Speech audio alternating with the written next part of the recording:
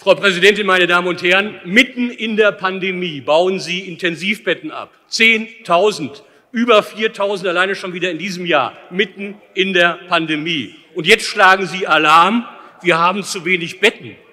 Seit Jahrzehnten vernachlässigen Sie die Pfleger. Sie haben alles dafür getan, den Job unattraktiv zu machen, auch mitten in der Pandemie. Mindestens 100.000 fehlen und nun fehlt, fällt Ihnen auf, wir haben zu wenig Pfleger. Aber für Ihr Versagen wollen Sie das Land nun in den nächsten Lockdown schicken. Ja, Sie wollen sogar einen Impfzwang installieren. Da helfen auch Ihre rhetorischen Taschenspielertricks nicht, Herr Wüst. Die Schuld daran hätten ja angeblich nicht Sie.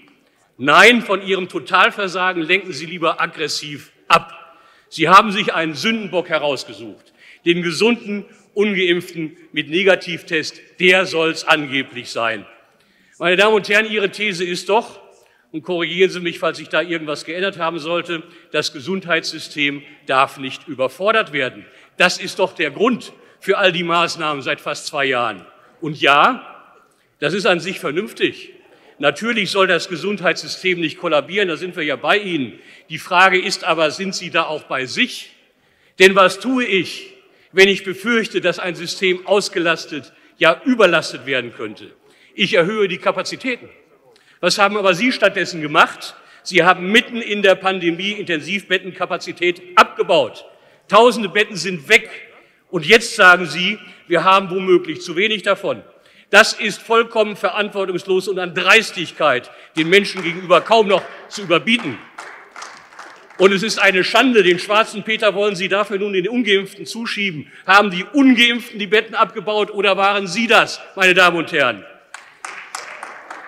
Ich möchte von Ihnen wissen, warum haben Sie die Kapazitäten der Intensivmedizin heruntergefahren, anstatt sie auszubauen? Wie können Sie es eigentlich noch wagen, sich hier hinzustellen und alle paar Wochen eine 180-Grad-Wende nach der nächsten hinzulegen?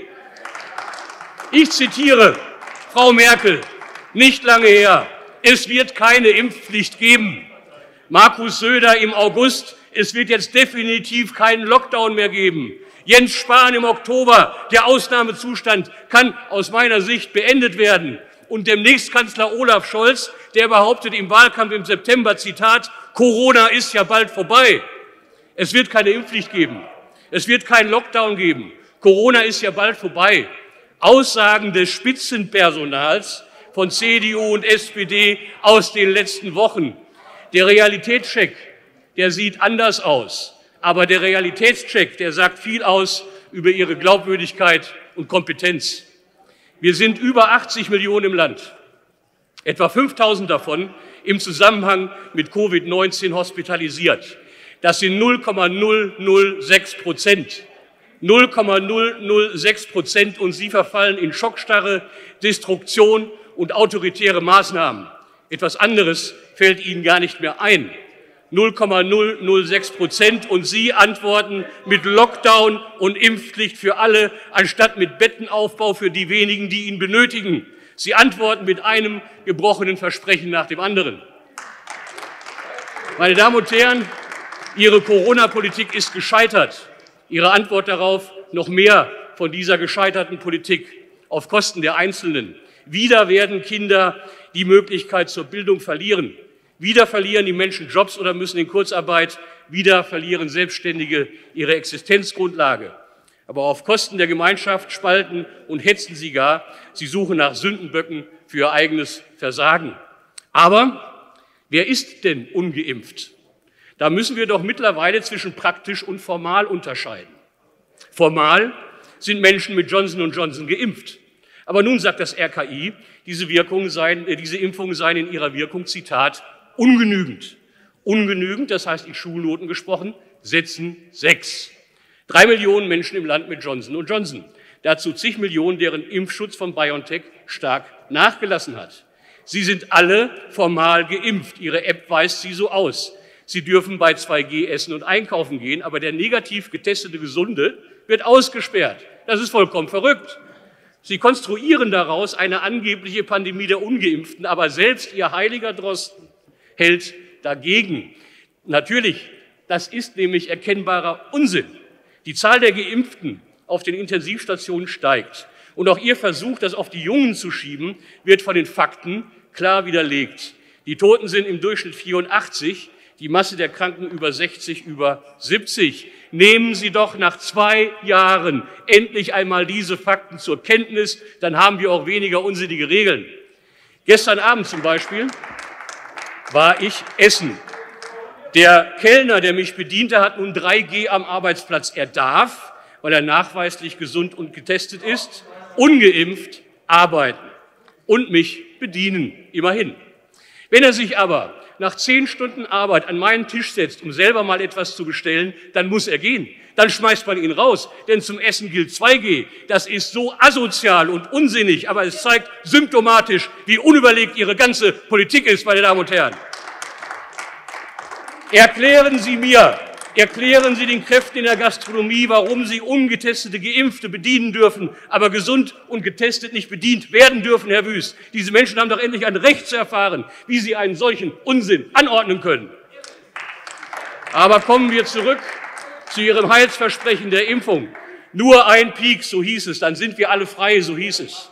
Und jeder, der anderes sagte, der zum Beispiel die Wirkungsdauer in Frage stellte, der war Rechtspopulist. Dann waren es zwei Piekse. Das reicht dann aber wirklich. Damit ist alles vorbei. Vor wenigen Wochen hieß es drei, also drei Piekse. Wirklich, das war's dann. Und jeder, der nicht mitmacht, ist schuld an allem. Jetzt reden wir von der vierten Impfung in anderthalb Jahren. Wie lange soll und wie oft soll der Impfzwang denn da gelten? Jahrelang, für immer, für jeden, meine Damen und Herren? Und wissen Sie was? Ich bin bekanntermaßen selbst geimpft und zwar doppelt. Ich habe das früh gemacht weil ich Verantwortung trage. Ich trage seit bald 30 Jahren Verantwortung für die Menschen, die mir als Betreiber von Heimen für psychisch Kranke anvertraut sind. Verantwortung für meine Bewohner genauso wie für meine Mitarbeiter. Niemals aber käme ich auf die Idee, meine Bewohner oder Mitarbeiter dazu zu zwingen. Denn genau das wäre verantwortungslos. Wissen Sie eigentlich, wissen Sie eigentlich, welchen Schaden Sie mit Ihrer autoritären Hysterie anrichten? Eine Bekannte hat sich vor zwei Wochen davon anstecken lassen. Nicht von Corona, sondern von ihrem Unsinn. Sie war genesen, doppelt geimpft und wollte sich nun unbedingt boostern lassen. So steht es ja in der Zeitung. So sagen es doch die Politiker. Und der Zwang kommt auch auch. Das Ergebnis, sie kippte um und war zwei Stunden weg, denn sie hatte mehr als genug Antikörper im Blut. Eine weitere Impfung war nämlich völlig unsinnig. Die Tage sitze ich mit einem Freund beim Bier er hat mir dann offenbart, er hatte wie viele andere unbemerkt Corona und ist daher ebenso unbemerkt genesen. Wir haben zwischen fünf und zehn Millionen Genesen im Land. Nun hat seine Ärztin einen Antikörperwert von über 2000 festgestellt.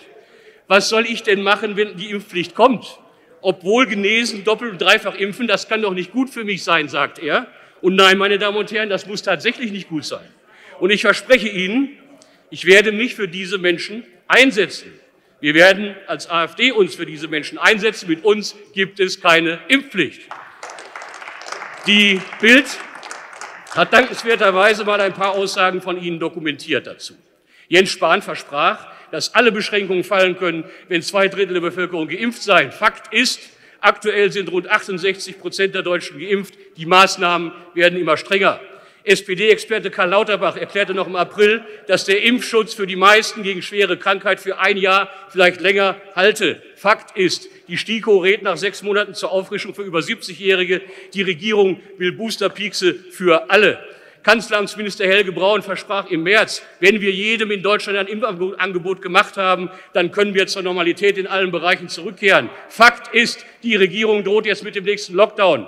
Die Unionsfraktion teilte im Dezember letzten Jahres mit, dass es keine Impfpflicht geben wird, auch nicht durch die Hintertür. Fakt ist, jetzt soll sie kommen, sogar durch die Vordertür. Das Robert Koch Institut erklärt im April, dass Geimpfte für das Pandemiegeschehen wahrscheinlich kaum eine wesentliche Rolle spielen, da sie kaum ansteckend seien. Fakt ist, auch Geimpfte sind ansteckend und ansteckbar. Laut RKI waren unter den über 60-Jährigen zuletzt über 60 Prozent der symptomatischen Corona-Fälle geimpft. All dies Zitate, deren Liste ich beliebig verlängern könnte, die ihre gebrochenen Versprechen und ihre mangelhafte Weitsicht zeigen. Wer aber prophezeite, die Politik, diese Politik wird sich so sehr in ihren Fehlern verheddern, dass es irgendwann zur Impfpflicht kommt, der war was? Verschwörungstheoretiker, Schwurbler und Rechtspopulist. Selten gab es eine Zeit, in der angebliche Verschwörungstheorien schneller wahr wurden als heute. Selten gab es eine Zeit, in der angebliche Rechtspopulisten sich so viele Euro als Wahrsager hätten dazu verdienen können. Selten gab es eine Zeit, in der die Unfähigkeit und Überforderung schneller zu solch eklatanten Wortbrüchen führte als heute. Wir setzen hingegen auf positive Maßnahmen. Und ich habe es Ihnen schon öfter gesagt, Warum wird nicht in die Erforschung von antiviralen Medikamenten genauso investiert wie in die Impfung? Sprich, anstatt alle fünf Monate zwangsweise zu impfen, ist es doch sinnvoller, die Symptome mit einem Medikament zielgenau zu behindern, äh, zu behandeln, nicht behindern. Oder wollen Sie selbst dann eine Impfpflicht, wenn wir Corona vernünftig behandeln können? Das ist eine Frage, die ich mir tatsächlich stelle. Und ich frage mich wirklich, warum denken Sie nicht in diesen positiven Optionen? Warum setzen Sie nicht auf den Fortschritt der Medizin und befördern den? Warum haben Sie die Lösung nicht in den Blick genommen bis heute? Wir haben jetzt in den USA die ersten Notfallzulassungen für Anti-Corona-Medikamente. Diesen Ansatz müssen wir doch weiter ausbauen. Und, und damit komme ich zum Schluss, sehen wir auf Schweden. Was haben Sie dieses Land verteufelt? Es hat Ihnen nicht gepasst, dass dort nicht autoritär, sondern ganz ohne Zwang und Lockdown gearbeitet wird. Heute sehen wir niedrigere Inzidenzen, deutlich weniger in den Krankenhäusern und viel weniger Tote, ganz ohne Lockdown, ganz ohne Impfpflicht. Herzlichen Dank. Vielen Dank, Herr Abgeordneter Wagner.